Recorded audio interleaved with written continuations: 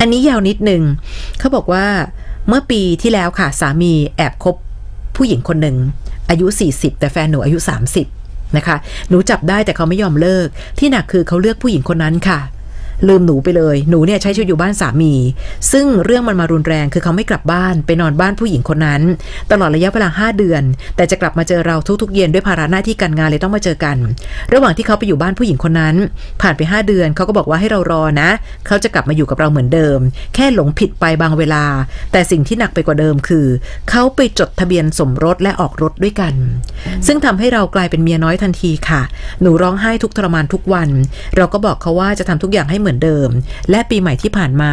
เขาก็หนีกลับมาอยู่กับเราเหมือนเดิม แต่ขอไปนอนบ้านผู้หญิงคนนั้น 3 วันบ้านนี้3วัน หนูยอม แต่ทุกวันนี้มันเกินคำว่ายอมอะค่ะ ผู้หญิงคนนั้นเขาก็จะเอาสามีกลับไปอยู่ให้ได้ ณ ตอนนี้หนูไม่มีสิทธิ์อะไรเลย รู้สึกทุกข์ทรมานใจอย่างบอกไม่ถูก ไม่รู้ว่าควรพอหรือรอต่อไปดี เดี๋ยวนะ น้องอย่าลืมว่าเขาจดทะเบียนสมรสกัน ไม่ว่าใครมาก่อนหรือมาหลัง ที่สำคัญคืออยากคบซ้อนค่ะและตอนเนี้ยแสดงว่าตอนที่เราคบกันเราก็ไม่มีทะเบียนสมรส แต่เขาไปจดกับคนคนนั้น ตอนเนี้ยผู้หญิงทุกข์ใจทั้งสองฝ่ายค่ะ ไม่ใช่แค่เราผู้หญิงอีกฝ่ายด้วยค่ะ แต่คนที่สบายกับคนกลางค่ะ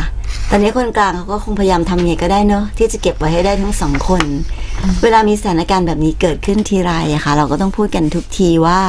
ตอนเนี้ยมันอยู่ที่ว่าเราอะยอมหรือไม่ยอมแล้วล่ะ ความสุขความทุกข์ของเรา ในวันนี้มันดันกลับกลายเป็นว่า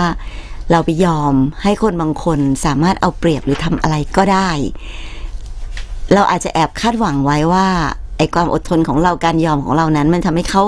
สามารถจะเลิกกับทางโน้นแล้วก็ทิ้งคนอื่นแล้วมาอยู่กับเราคนเดียวด้วยความเห็นคุณค่าในความดีของเรา ซึ่งพี่กล้าบอกได้เลยว่า 99%ที่เราเคยเจอมาในคลับไฟเดย์มันมักจะไม่เป็นเช่นนั้นค่ะการยอมแปลว่าต้องยอมอะค่ะ ยอมตลอดไปเรื่อยๆและยอมตลอดไป การยอมไม่ได้หมายความว่าจะทำให้เขาเปลี่ยนใจมารักเราคนเดียวได้ หรือมาเห็นคุณค่าความดีงามของเราได้ เพราะฉะนั้นมันไม่มีใครสามารถจะบอกได้จริง ๆ ว่าเราควรตัดสินใจยังไง นอกจากตัวของเราเองต้องเข้าใจในจุดนี้ก่อนและ และยอมรับในจุดนี้ก่อนว่า เราพร้อมจะไปต่อแบบนี้จริง ๆ หรืออเราพร้อมจะเป็นคนที่ได้เข้ามาอาทิตย์ละสองวันสามวัน แล้วก็ปล่อยให้เขาไปอยู่กับคนอื่นอาทิตย์ละสองสามวันแล้วนี่เขาจดทะเบียนกัน ถ้าเกิดเขามีลูกกัน แล้วเราจะคืออะไรอะคะอืมค่ะ วันนี้เราไม่มีที่ยืนเลยนะเอาจริง ๆ แล้วอะต่อให้น้องจะแบบพยายามยืนยันว่าหนูมาก่อน แต่เรื่องบางทีบางทีมันเป็นเรื่องการจัดคิวอะค่ะค่ะ มันเป็นเรื่องที่เขาเห็นแก่ตัว เขาก็เลยไม่ยอมเสียใครไป คนนั้นก็อยากมีคนนี้ก็อยากได้ และยังหยอดเราเอาไว้ด้วยนะ เออเดี๋ยววันหนึงจะกลับมาเหมือนเดิมจะเหมือนเดิมได้ยังไงอะเพราะตอนเธอไปตอนนั้นน่ะเธอไม่มีทะเบียนสมรสกับคนอื่นนะ วันนี้เขาเปลี่ยนตำแหน่งเราเรียบร้อยแล้ว โดยที่อย่าใช้คำว่าเปลี่ยนตำแหน่งค่ะ ใช้คำว่ายัดเยียดตำแหน่งนี้มาให้เราเรียบร้อยแล้วนะคะ ทั้งหมดอยู่ที่เรา รักเขามากพอจริงหรือ เราใช้ความรักกับคนผิดคนหรือเปล่า ในที่สุดเราก็ตัวสำรองแล้วนะคะ ตอนนี้ดูจากทุกสิ่งทุกอย่าง ตัดสินใจเลือกได้ค่ะชีวิตเราของเราเอาจริง ๆ นะ พอแบบพอเขาจดทะเบียนปุ๊บเนี่ย ใช้คำว่าตัวสำรองยังดีเกินไปเลยเราเป็นเมียน้อยนะคะ ตอนเนี้ยเอาจริง ๆ ค่ะนั้นจริงเหรอ ความรักดีๆของเราหัวใจดีๆของเราอะ มันมีค่าแค่คำว่าเมียน้อยเองเหรอ อันเนี้ยน้องต้องต้องรู้จักคุณค่าของตัวเองนะคะ ค่ะ ไม่งั้น จะไปเรียกร้องให้เขามาเห็นคุณค่าเรามันคงไม่ใช่อืมนะคะ ให้กำลังใจนะคะ มันมีคำถามแบบนี้เยอะมากใช่จริงใช่ๆนะคะใช่เหมือนว่ามีคำถามหนึ่งที่ถามมาค่ะ บอกว่าส่วนใหญ่แล้วคนที่เข้ามาปรึกษาปัญหาพี่อ้อยพี่ชอตมักจะเป็นเรื่องอะไรคะตอนนี้คือเรื่องนี้ คือเรื่องนอกใจ แล้วมันก็จะวนเวียนค่ะว่ามันเป็นนอกใจแล้วเป็นในมุมไหนบ้าง เช่น บางทีนอกใจก็มีทั้งคนที่ทนกับนอกใจแล้วไม่ทนค่ะหรือมันก็มีเยอะอะค่ะอย่างที่เราเราเราได้ดูในซีรีส์ตอนแรกเป็นคนมาก่อน สุดท้ายกลายเป็นคนมาหลัง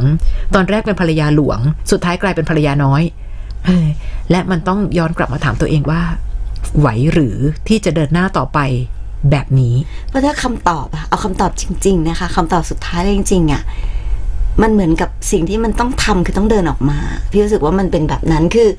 มันเป็นการตกอยู่ในท่ามกลางสิ่งที่ไม่ควรเข้าไปอยู่ แล้วมันค่ะไม่มีทางที่มันจะเห็นความสุขเลยนั้นสำคัญที่สุดก็คือการเดินออกมา แต่ปัญหามันคือคนส่วนใหญ่แล้วเนี่ย จะยังไม่ยังไม่แข็งแรงพอที่จะเดินออกมาให้ได้ค่ะ พี่เดาว่าน้องคงคล้าย ๆ แบบนั้นเหมือนกันค่ะ แต่ก็นั่นแหละนะคะ กลับไปที่ประโยคเดิมเจ็บที่สุดหยุดได้เอง อาจจะต้องรอวันนั้นแต่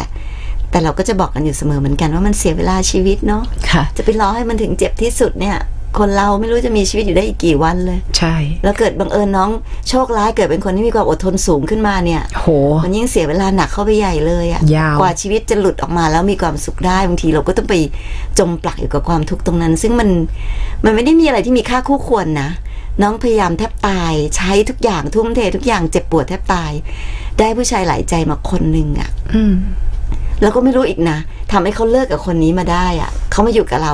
ก็ไม่รู้อีกว่าเขาจะแบ่งตัวเองไปหาใครอีกเมื่อไหร่ค่ะเพราะคนแบบนี้ก็ต้องเป็นคนแบบนี้วันยังค่ำค่ะ คนบางคนนะคะเขาไม่ได้สูงค่าที่เราต้องแลกมาด้วยความอดทนจริง ๆนะคะค่ะและหลายครั้งที่ความอดทนทำให้อีกคนยิ่งเคยตัวอ๋อเขาอยู่ได้เขาอยู่ได้ ก็แต่ก่อนยังอยู่ได้เลยเอาก็ยอมรับได้นี่เอออมันก็เลยเปลี่ยนกันอย่างเงี้ย เปลี่ยนเขาก็ไม่ได้นะคะ